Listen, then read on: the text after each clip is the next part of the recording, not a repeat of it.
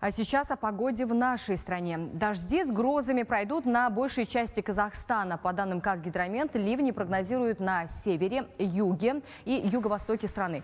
Днем на западе и в центре до 28 градусов тепла, на севере до 20 градусов. По республике усиление ветра, на юге и юго-востоке шквал и град. Ясно будет только на западе страны. В Астане без осадков, температура воздуха днем до 21 градуса тепла.